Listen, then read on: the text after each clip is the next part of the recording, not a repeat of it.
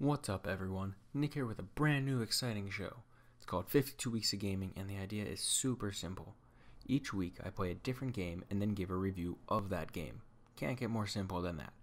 There's no scoring system, no fully detailed list of pros or cons, just me talking for a few minutes about video games each week. So, the first game is Lego Hobbit. Let's get started. Now, I'm a fan of the Lego games. I can say I played a few of them in my time they take a movie or an idea, something like Marvel or DC in the case, and make a game out of it. The fact that all of the characters are Lego really helps when it comes to some of the details that the movies have, like violence, for example. Let's take Lego Hobbit for an example. The game opens with an explanation of how Smaug took over Erebor. A lot of dwarves died. It's something that happens in the movie, happens in the book, and they go into pretty big detail about it. But as Legos, though, they just get squished, get thrown into walls, and it looks really funny. That kind of makes it seem like the graphics are pretty basic, but it really shows off how well they can do the facial animations to go along with the voice acting. And it's part of the game's charm. I love it. It's not designed to be difficult. It's not designed to go and be anything that's going to win all these awards for for gameplay, something like The Witcher 3, for example. But it's designed for Lego fans who are young, old, everywhere in between to just enjoy the game. It's kind of mindless in that sense. Now, the plot for these games is always based on the source material. So, again, in this case, it's based on the first two Hobbit movies The Unexpected Journey and Desolation of Smaug if you've seen the movies, then you're going to know what's going to happen in the game. But if you haven't seen the movies and you don't want to be spoiled, then what is the point of playing the game that kind of ruins it for you? But I can't tell you that now because you play the game. Too bad. But uh, if you haven't, spoiler alert, here's what the plot kind of is.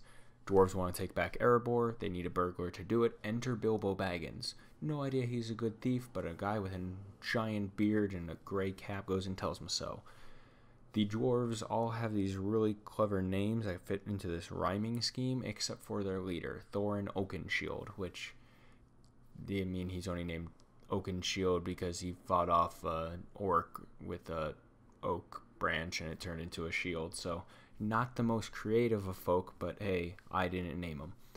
Now, an interesting concept that is in the Lego games are the different abilities that the characters have. It's similar to a class system that other games are going to have problem that the Lego games have to deal with is that you might have one character that can go and do that. So when you're trying to go and complete tasks, complete missions, you're running into issues there. It's one of the things that I don't like about the game. You're stuck at a point and you're having to deal with menus and buttons and all these different options to go and figure out which character is going to be best and we're reading over the descriptions to make sure you're picking the right character for the job. You can only complete these tasks with with the certain characters, so you're kind of kind of stuck otherwise. Um, yeah, it, overall, I'm gonna say the game has a lot of replayability. Like that's the thing that I think about with all these different characters. You're gonna be having each level have different collectibles in it, which some you can get from the story. Most you're gonna have to go and get afterwards when you go and replay the game with those new unlocked characters. And that can be a problem for some of the younger players because it's a bit grindy at that point. You're having to go back in a level repeatedly, look up guides, make sure you can go and find like the item that they call the red bricks. Bricks. Wow, I can't talk. Uh, in the Lego games that go and unlock different things like stud multipliers or find all hidden kits, that sort of stuff.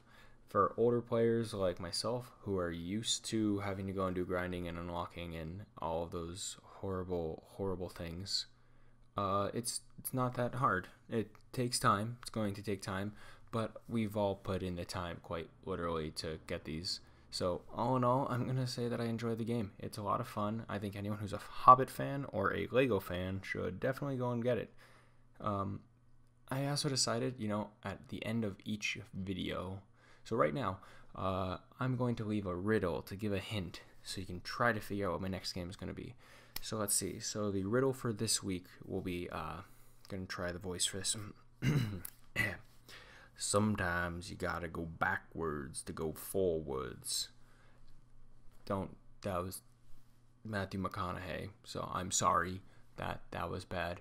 Uh, anyway, thank you for watching the video. Uh, you can hit subscribe, like, comment, do all the fun stuff. Keep watching our stuff and stay inept, people. Bye.